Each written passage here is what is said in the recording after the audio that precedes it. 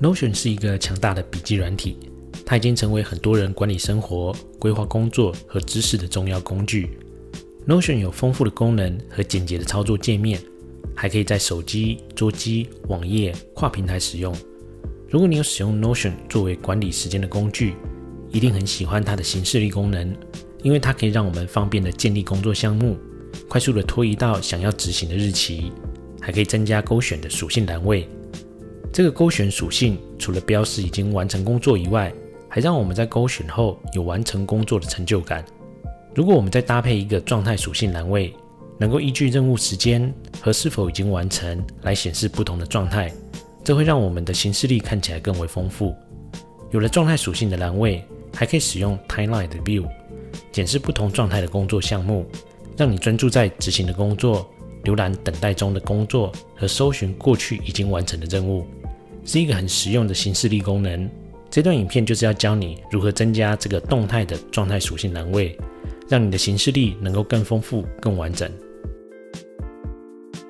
接下来我要开始示范如何在 Notion 中从无到有建立一个动态的行事力。首先，我要先开一个新的 page，这个 page 你可以在任何地方建立。这里我选择在左边选单的 Private 建立一个新的 page，我将这个 page 命名为 Code 剑形式力。接着我选择下方的 Calendar，这样就可以建立出一个基本的日历。我们可以在选定的日期中点选加号，新增工作项目。我们填入这项工作的标题，标题的下方就是 Property，我们可以称为属性。在 Notion 中，我们可以自由定义每个 page 的 Property。像是书，我们就可以定义作者、出版社和出版日期这些 Property。这里的工作项目，我想要定义日期。是否已经完成的 checkbox 和状态属性，在新增其他属性之前，我想要修改日期属性的格式。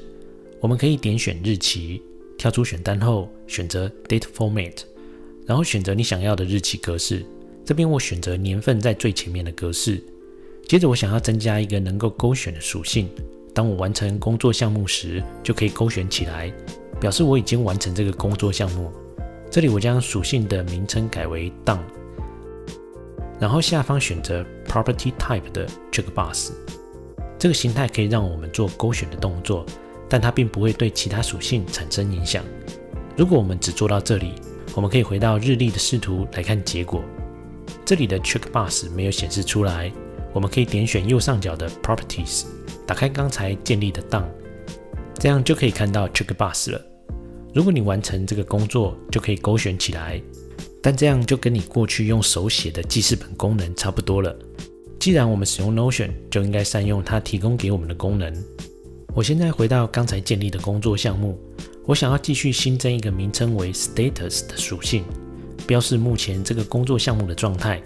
这个 Type 我先选择 Select，这是一个可以选择状态的属性。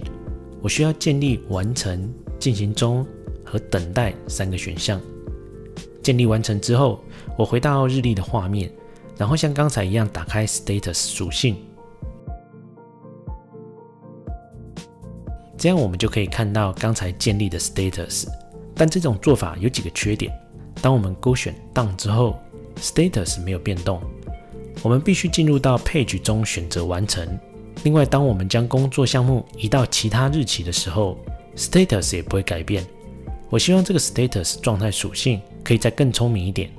当我勾选 Done 之后，Status 会变成完成。今天之后的工作项目 Status 显示等待。进入到当天日期的工作项目 Status 会显示为进行中，直到我们勾选 Done 才会完成。所以我要正式进入到这个影片的主题，教你如何将 Status 与其他属性做联动。我进入到工作项目的 Page 中，点选 Status。我们在 Property Type 中可以看到有两个部分，一个是 Basic，另一个是 Advanced。Basic 的部分是一般常见的文字、数字、日期这些，Advanced 则是进阶的功能，像是 Formula 就提供许多 Notion 内建的函式。我们需要使用 Formula 当中的函式来读取其他属性的资料和判断日期区间。所以我先将 Status 的 Type 改为 Formula。如果你从来没有用过 Formula 的函式，我这边会先说明一下操作方式。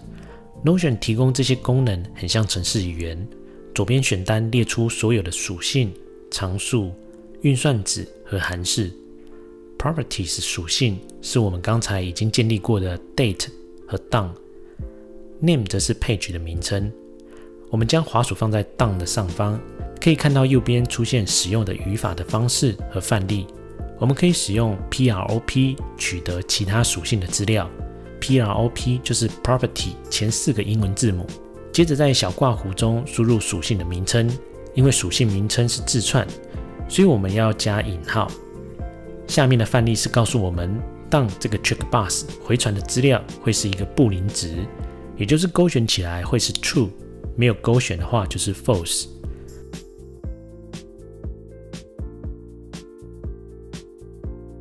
我点选右上角的按钮，确认储存已经输入的城市码，示范一下。当我将 done 勾选起来时，下方的 status 就会跟着联动，显示一样被勾选起来的 checkbox。我们知道如何取得其他属性的资料后，就可以让 status 依据 done 是否有被勾选起来做动态显示。我在左边的功能选单往下滑，找到一个名称为 if 的函式，右边显示一个看起来有点复杂的语法，但它其实很简单。它在程式语言中有一个名字叫三元运算子，第一个参数是布林值，也就是刚才提到的 true 和 false。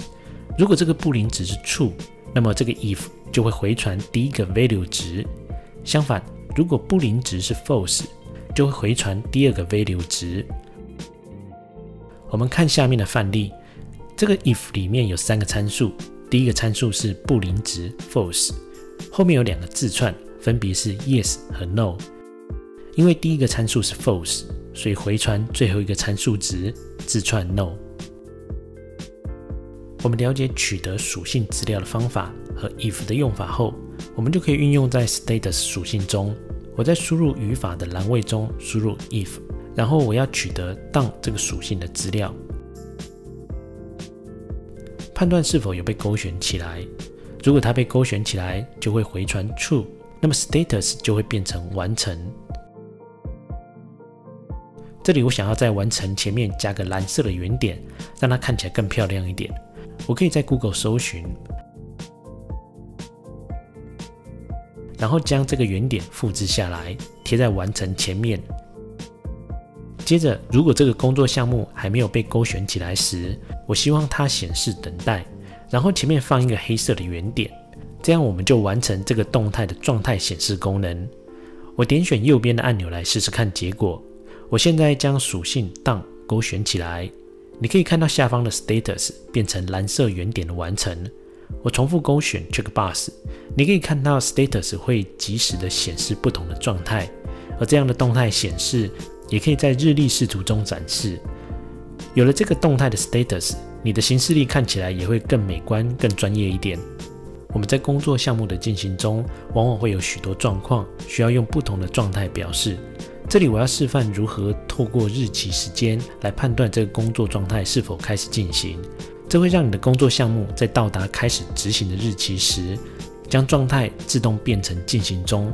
我现在回到刚才的状态属性，我要介绍一个计算时间区间的函式 date between。date between 这个函式有三个参数，第一个和第二个参数是日期，它会帮你计算出这两个日期相减后的结果。如果第一个日期是比较早的时间，那么 date between 会回传负值，而这个回传的时间区间可以在第三个参数中设定。下方的范例就是可以设定的时间区间，像是 hours 就是回传相减后的小时数。所以我将工作项目的日期放在第一个参数位置，今天的日期放在第二个参数位置，第三个参数我放 hours 的话。当工作项目的日期已经达到今天凌晨零时，就会回传负值。我将使用这样的逻辑用在计算这个工作项目的状态是否已经可以开始进行。刚才的状态属性是判断属性当勾选后状态变成完成，但现在还未勾选的情况下，需要多增加一个判断条件，所以我将后面的字串等待移除。我要在这个参数位置多加一个判断 if。如果工作的执行日期已经抵达今天的日期，或是在今天之前，就会小于零。这个时候会是回传 true，所以状态会是进行中。如果 date between 回传大于零，表示工作的日期在今天之后还没有开始的意思，状态就会是等待。完成后，我回到日历的 view，因为这个工作项目是安排在今天执行，所以这个状态显示进行中。我现在将它拖移到明天才执行，你会看到状态从进行中变成了等待。所以你在实际使用这份行事历的时候，遇到今天无法执行这个工作，需要延后到明天或未来几天才能执行，就可以直接拖移到后面，状态也会跟着变为等待。如果我再将工作移到昨天，状态就会再次变成进行中，表示你这个工作项目昨天就已经开始进行，但今天还需要继续做，就可以不勾选档，直到你今天完成后再勾选档，将工作状态变更为完成。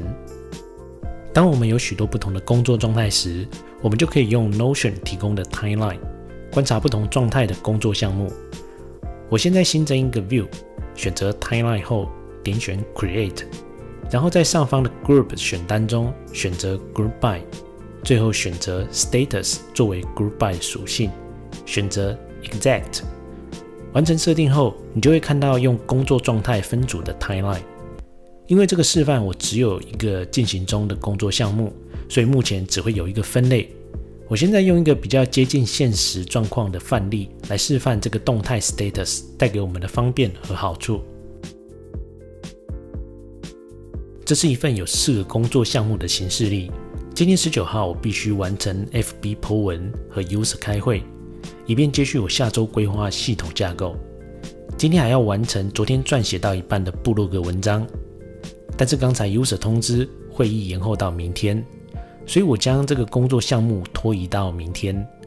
工作状态自动变更为等待。我借由空出的时间完成了昨天写到一半的文章。完成后，我勾选了 Done。工作状态自动变更为蓝色的完成。我想专注在我进行中的工作项目，我将 View 改为 Timeline。通过工作状态的分类，我可以清楚看到目前进行中的项目。我也可以选择等待中的工作项目，浏览之后要执行的工作，最后看一下之前已经完成的工作，确认自己近期做过的项目。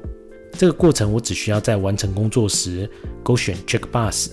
在日历上拖移工作的位置，完全不需要手动去调整工作状态，就可以清楚在日历和 Timeline 中管理我的工作进度。我将这段影片的程式码放在下方资讯栏当中。如果你也在使用 Notion 形式力管理时间，可以将你的使用心得和建议分享让我知道。我是 c o j u n 的 Ryan，希望这段影片能够带给你一些帮助和启发。我们下次再见。